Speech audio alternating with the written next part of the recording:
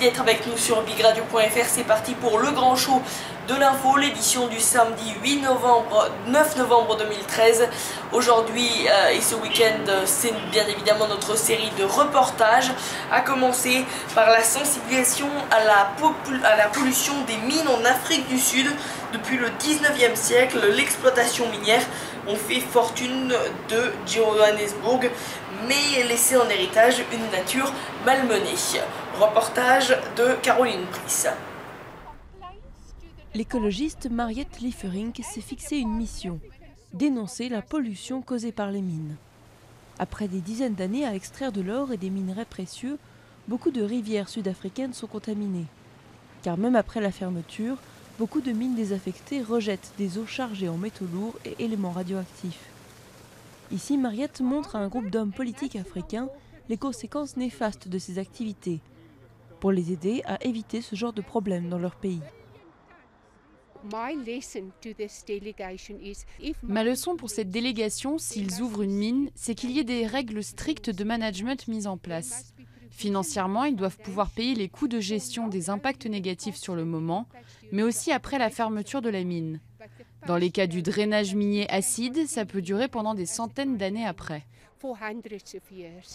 Près de Krugersdorp, à une heure de route de Johannesburg, l'eau contient des taux importants de cobalt, de cuivre, de zinc, d'arsenic et d'uranium. Dans un lac, les concentrations d'uranium sont même 40 000 fois plus élevées que la normale. L'exposition aux eaux contaminées présente des menaces pour la santé. Les habitants de ce bidonville, à côté des déchets miniers, en sont peut-être les victimes. Nous avons relevé un nombre très important de cas de cancer, de problèmes dermatologiques ainsi que des cas de retards mentaux. Mais nous n'avons pas de chiffres précis parce qu'aucune étude épidémiologique n'a été menée. L'étendue du problème et le manque d'efforts en termes de pollution choquent ces hommes politiques, venus avec l'aide de l'ONU. Certains viennent du Malawi, d'autres du Burkina Faso, des pays qui ont récemment commencé à exploiter leurs ressources minières. Nous venons juste de commencer, donc nous allons apprendre des erreurs de nos amis. Mais pour être honnête, je dois dire que ce que j'ai vu ici me déçoit un peu.